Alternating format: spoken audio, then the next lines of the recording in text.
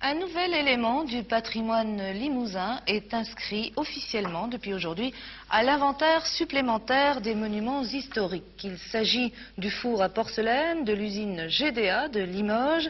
Ce four, construit en 1884, a cessé de fonctionner en 1938. Il est actuellement en piteux état, comme l'est d'ailleurs l'édifice qu'il abrite. C'est le premier bâtiment industriel de la région à figurer sur l'inventaire des monuments historiques. La chance a plus d'une fois souri au vieux four des porcelaines GDA. Plusieurs fois, il a échappé à la disparition totale. De 1884 à 1938, il a cuit sans faillir à sa tâche. Dernièrement, en 81, il a survécu à l'incendie qui a ravagé l'entreprise. C'était un four à flammes renversées, une petite révolution pour l'époque. C'était euh, ce qu'on appelle un four à flammes renversées et la cuisson se faisait au bois et au charbon uniquement. Et ça consommait beaucoup Ah oui, ça consommait énormément, oui. Euh, plusieurs tonnes de charbon pour chaque cuisson. Alors il y avait, c'était un four avec plusieurs étages et chaque étage avait une particularité. C'est exact. C'est un four qui est à deux étages et la première partie qui est en haut s'appelait le globe, là où on fait la première cuisson qui est à 900 degrés. Et à l'époque c'était du 960. Et le, le rez-de-chaussée qui s'appelle le laboratoire, là on cuit à 1400 degrés. Et c'était la récupération de la cuisson euh, au rez-de-chaussée qui faisait la, la température idéale pour le dégourdi. Est-ce que c'était un système satisfaisant? À l'époque, oui. Ce sont des fours qui étaient très sophistiqués et qui étaient parfaitement conçus. La clé de son succès, une température intérieure relativement homogène. Par la suite, il eut des petits frères. Rien qu'à GDA, il faisait partie d'un ensemble de six fours similaires. Et de nos jours, à Limoges, il ne subsisterait que quatre fours de ce type aux usines Renault et à Villande. Ça a apporté une âme, si vous voulez, dans une entreprise que l'on n'a pas avec le matériel moderne maintenant. Ça, c'est vrai. Il y a un peu de nostalgie quand on voit les vieux murs. Quel effet ça vous fait de savoir que c'est classé maintenant Euh, un grand soulagement, puisque c'est avec amertume que je voyais disparaître ce patrimoine qui... euh, il est même déjà un peu tard pour le sauver, mais enfin, c'est une bonne chose qu'il y ait des gens qui, qui aient pris ça en main et qui s'en occupent activement. Voilà plus de huit ans que l'association Renaissance du Vieux Limoges se battait pour le faire inscrire à l'inventaire des monuments historiques. C'est chose faite désormais. L'an dernier, 50 000 francs de réparation ont été consacrés à la toiture du bâtiment.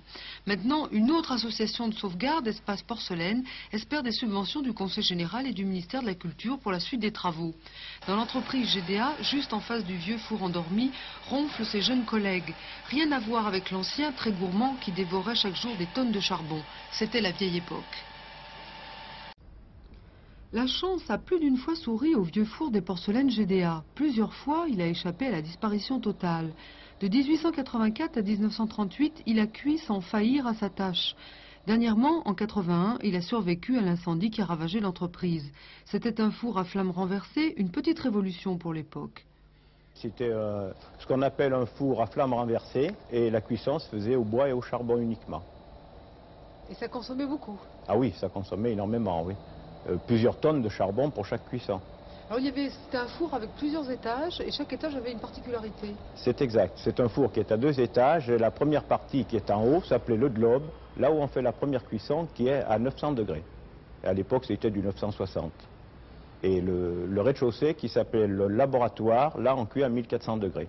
Et c'était la récupération de la cuisson euh, au rez-de-chaussée qui faisait la, la température idéale pour le dégourdi. Est-ce que c'était un système satisfaisant? À l'époque, oui.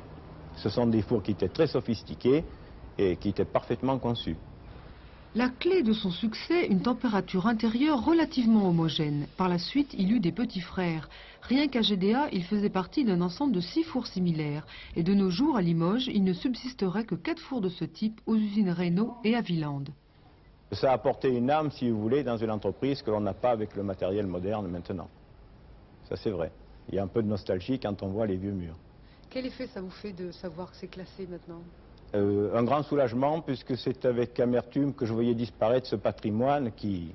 euh, il est même déjà un peu tard pour le sauver, mais enfin, c'est une bonne chose qu'il y ait des gens qui, qui aient pris ça en main et qui s'en occupent activement.